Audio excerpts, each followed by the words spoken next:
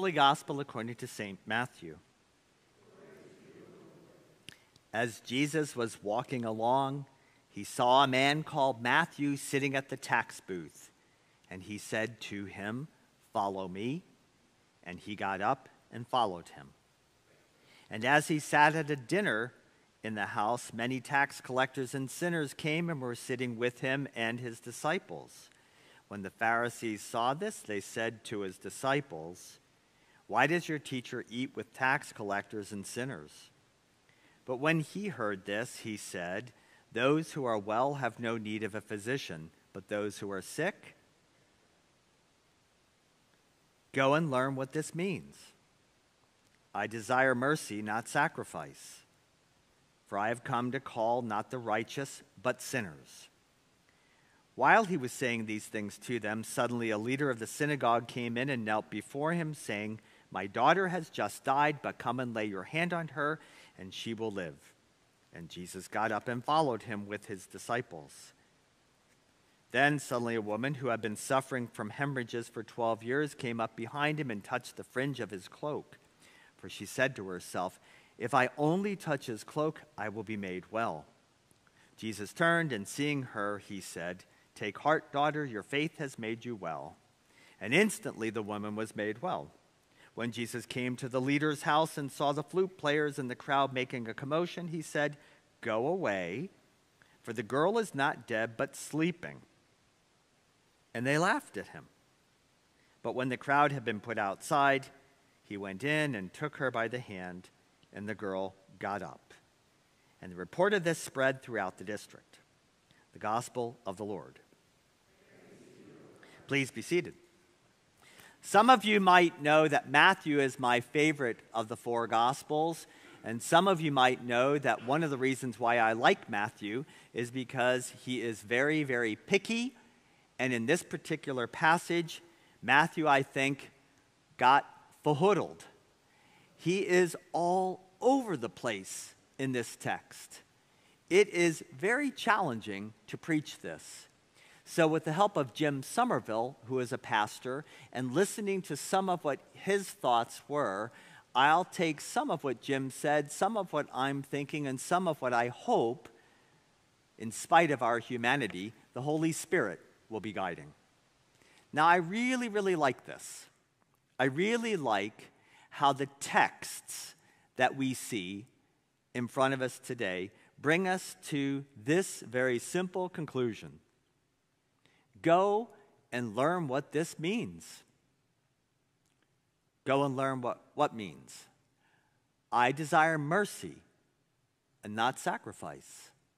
I desire when you and others mess up that you offer them what I offer them, and that is yes, there's accountability.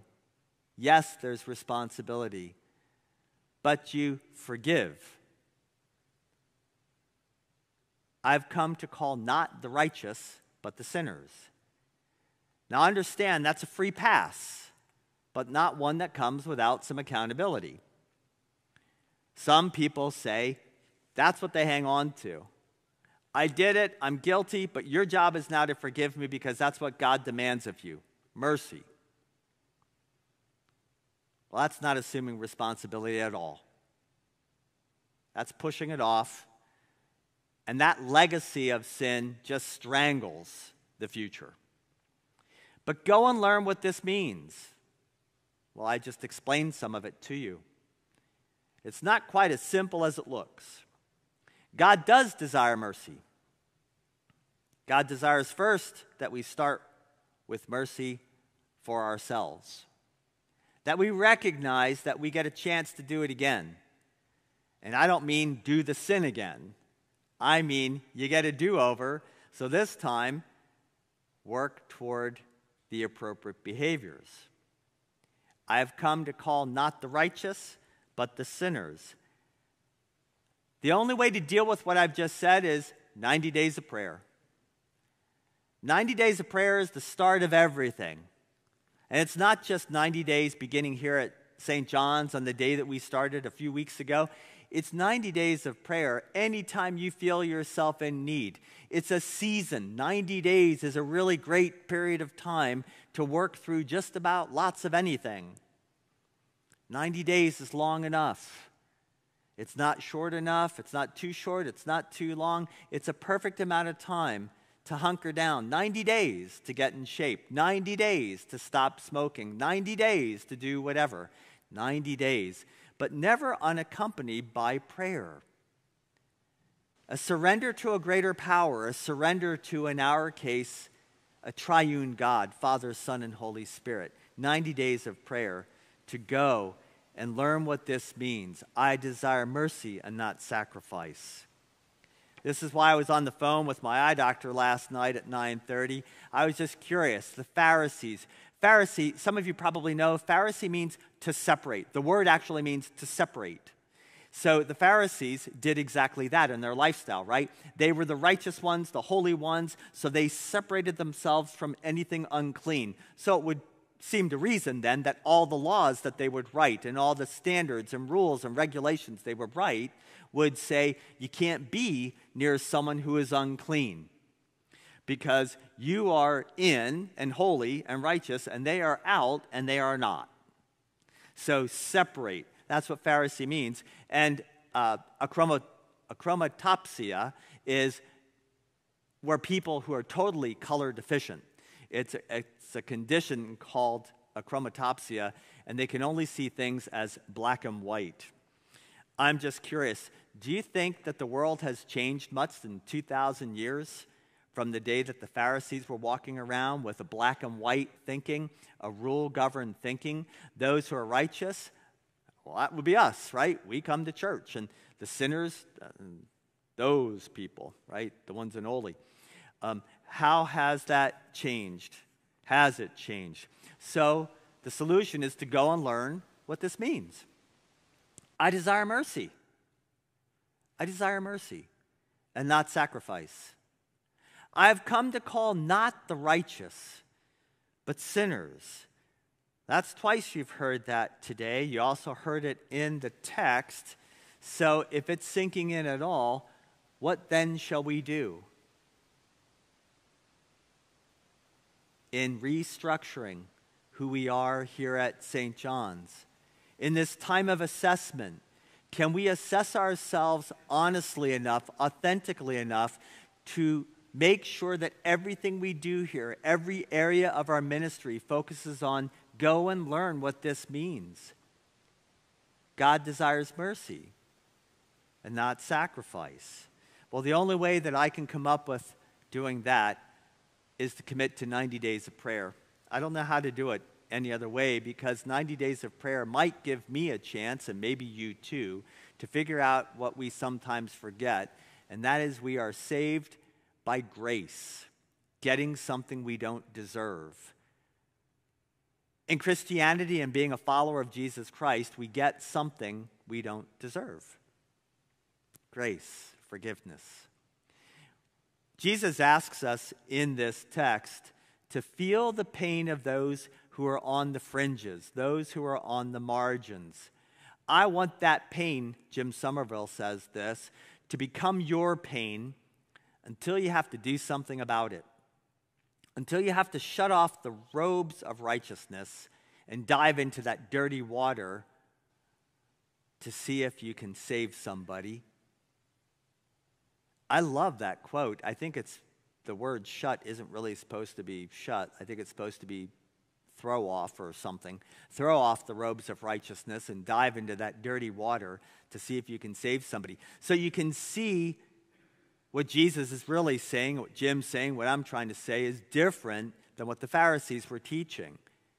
The Pharisees wouldn't say, dive in, get into the dirt and the muck and the mire with those sinners.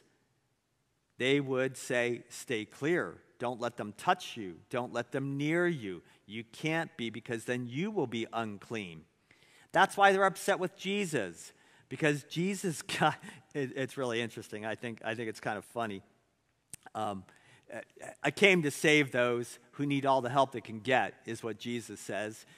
And, and if you look at the text today, Jesus breaks all the rules. This is the Son of God. breaking all the religious rules. Tax collectors, he entered into their home. He can't be near someone that's unclean.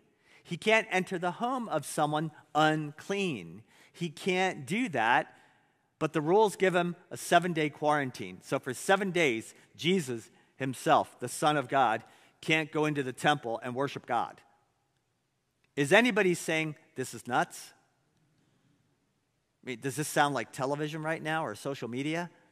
It's crazy. It, it, this should be a movie. Like, there ought to be a real Jesus. I'm joking. Jesus breaks the rules. A leader of the synagogue, a Jewish leader of the synagogue, comes to the one who has declared himself to be the Son of God after his daughter has died. This is, you know how parents that have, they trick their kids when they're little? You're driving down the road and there's a dead deer. Oh, the deer is sleeping. There's a squirrel that just got squished. Oh, he's just sleeping by the side of the road. Any of you ever do that to your kid? Jesus just did that, right? She's not dead, she's sleeping. She was dead. A leader of the synagogue asked Jesus, the Son of God, What can you do? And after they left the room, after people vacated the space, after the doubters and the disbelievers and the ones that were making a mess of the world and everything that God had intended, she walked out with her Lord. Jesus breaks the rules, and so should we. The apostles remembered what many modern Christians tend to forget that what makes the gospel offensive isn't who it keeps out. The gospel is offensive because of who it lets in. It's typically the person we think shouldn't get in. Because you know I'm a better Christian than you because I went to seminary. I'm a better Christian than you because I can quote Dietrich Bonhoeffer. I know the New Testament scriptures, and I used to be able to. I can't remember that anymore, but I used to be able to read, recite whole chapters in the New Testament. Whoop de ding dong. That made me no sooner close to God. Yeah. yeah. Funny thing, it's funny, isn't it? That you can preach a judgmental, and vengeful and angry God, and nobody really actually minds. But you start preaching a God that is too accepting, too loving, too forgiving, too merciful, too kind, and you get in trouble. I got in trouble the other day. Surprising. One of our community leaders was hesitant. They heard about the candidates' night. When we sponsored the candidates' night for those that were running for election for school board,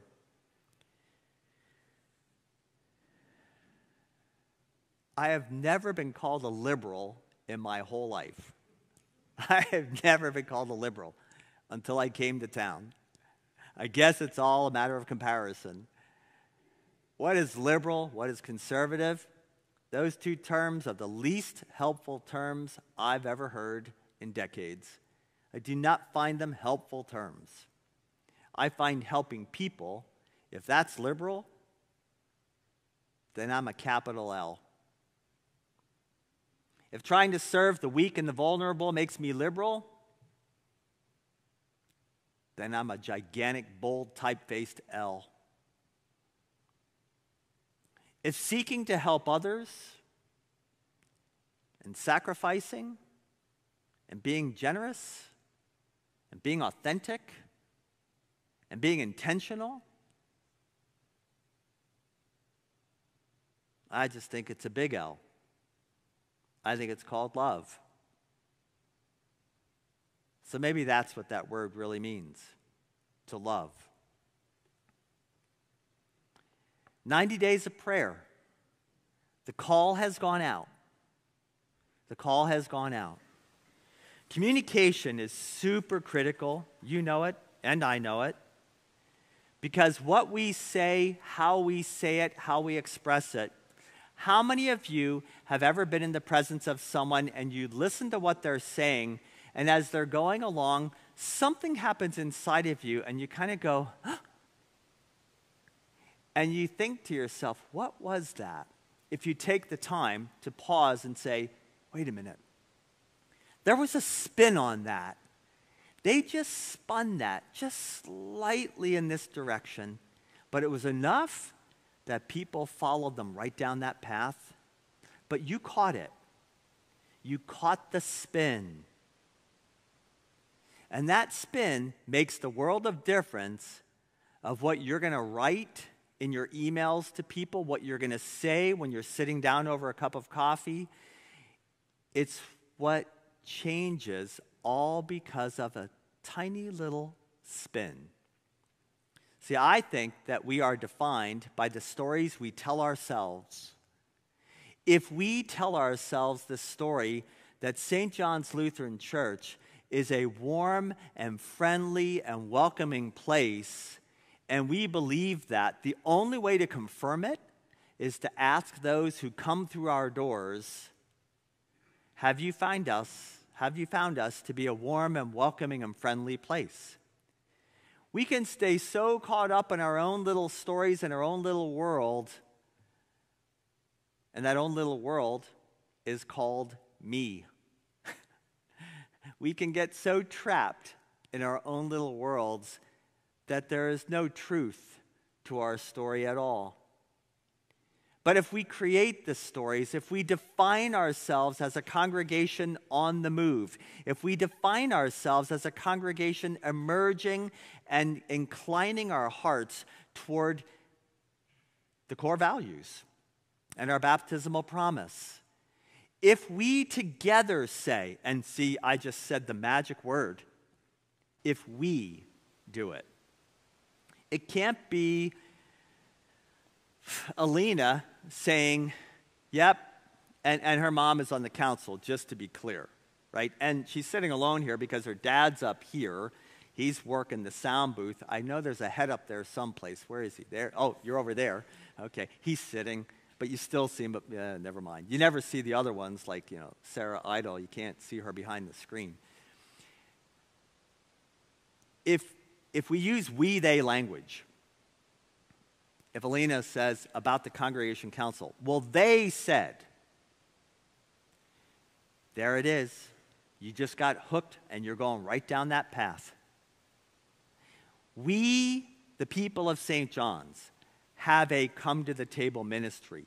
We, the people of St. John's, you've never heard me say, I had a funeral. You've never heard me say, I had a wedding. You've only ever heard me say, we've had a funeral because I'm trying to teach you something that many of you probably don't understand, don't do because it's been habituated in you. It's been ingrained in you to say, they decided. We don't really want to know what's going on in the inner workings of the church behind the scenes. We just want to come to church. We just want to come to church. They should be doing that. I will fight we, they all the time and I can tell you that when we, they takes place in an email, I already know right where they are going because they are not in alignment, they are not in agreement, they are not we. Because when we fail, we fail. When we succeed, we succeed. You know what was so powerful about Friday night and Saturday morning? Because the worship team gathered and we, we worked together. We expanded our vision. We went from community Thanksgiving Eve service that years ago got moved to Monday. And then it started to fall apart. And so, what do you do with it? Scrap it right? It doesn't work anymore. No, think it through. Thanksgiving is what kind of a holiday? A Christian holiday? No. Chris, but it's a holiday nevertheless, and it is, in my opinion, sometimes it feels more important to me than all the others. There's a reason for that because in it is the value of what institution? The family. So instead of trying to force people to come to a service and make people feel guilty because they don't come to the service, when they're trying to stuff a turkey and make all this stuff that I want to eat on Thanksgiving Day, instead of making people feel guilty and shaming them, flip it. Let's give them the resources. Let's give those folks the resources. Let's make sure every family in this church has a little sheet of paper that starts with a prayer that somebody writes. And then how about a litany that's a responsive reading? So everybody gets a sheet around the table, and Martha starts with this line, and then I say the next line, and then Mary Kay says the, th- says the third line. I talk like Nutropoli now, they says that. And, and Delaney does something at the very end. So we work together. It's the we that we do it. And then let Maddie record a song. We'll have the words on it, and if anybody that has a computer handy, or I know a few of you have cell phones, you know, those little telephonic devices that, you know, you can do all kinds of stuff. But have it, so all you do is push the button. So every family in our congregation gets to experience Thanksgiving together. And what about the families that you don't have a partner anymore to go to dinner? You don't have a place to go. Do we really want those folks sitting at home? No. One of the best things I've ever experienced in my entire life, I kid you not, was my first Christmas dinner here. For the next three years, I blew off going to my own family until late, late, late in the day because I wanted to be here with all the folks that were gathering here for the Christmas meal. So send the sheets of paper out to the people. Send it online. Have Maddie sing a song and let them play. Whatever we do so that we can be together. And let's have a few of us that say on Thanksgiving Day or on Sunday, the Sunday right after church, before everything cracks open for Thanksgiving, let's have a meal here. Let's have a little worship service here. Let's go right from church and go eat. Which one of you doesn't want to stuff your face with turkey more than once? So instead of having leftovers, let's have pre Thanksgiving food. Thanksgiving food. There's so much that we can do. We are defined by the stories we tell. That's what your worship team came up with. They made me call my wife. It, they, they, here we go. See, you can hear it. Did you see how I spun it? They made me. So now you know what's going to happen, right? Who's getting blamed for something? The worship team. They made me call Gene and say, Will you do the prayer and the blessing for the back to school stuff? Do you hear how subtle the twist can be? They didn't make me do anything. We did it together. Baptismal promise live among God's faithful people. Hear the word of God. Share the Lord's Supper. Proclaim, serve, and strive. That's what we say in baptism we reinforce it here with these four core values authentic worship, sacrificial service, intentional relationships, radical generosity. Your congregation council said 90 days of prayer while we do the assessment. 90 days of prayer. We don't do it without 90 days of prayer. We're asking you to participate with us. In 2022, 2022, 18 months ago, this was announced to everybody in the church. Authentic worship, intentional relationships, sacrificial service, and radical generosity. It's in a letter I wrote, the front sheet of the paper. If anyone in our congregation, if there's anyone on our staff that doesn't know this, then somebody is not communicating. Someone's not getting the word out that everything has been planned years ago for what you're seeing happen here right now. Do you really think I do a heck of a lot without a plan? I'm asking a question. No. But then I get excited about going in a direction, planning to go in a direction, and somebody throws a twist in it. Donnie Heimbach says, because he knows the building, Pastor Bob, we need to do this. So what do you think I'm going to say? Do you know how to do it? and then what? Go do it. Why would we do it any other way? Why would we do it any other way? Why would we do it any other way? in 2023, we announced this plan, and it attaches to Matthew chapter 9.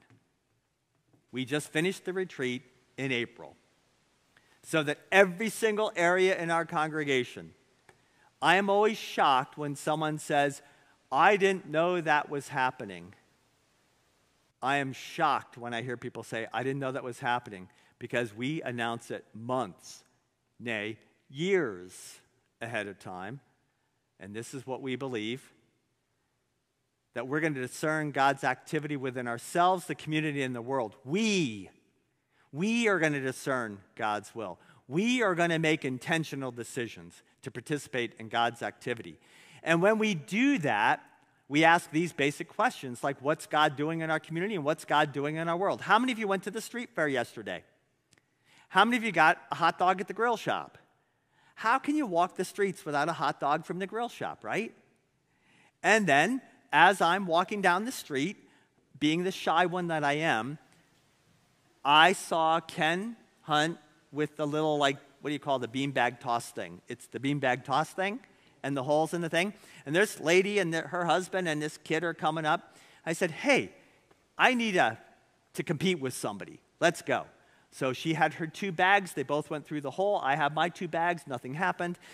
I said, I want to re- a rematch. And we did it again. She put one through the hole. I put one through the hole. She put one through the hole. She won. And I said, Hi, I'm Bob Mockemer. I'm the pastor at St. John's Lutheran Church. She said, Oh, that's our church.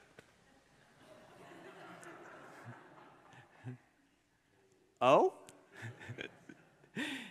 And you know the rest of the story. So I said, I want to meet you. Come to church. I want to see you. But I recognized the kid's face. I recognized the kid's face.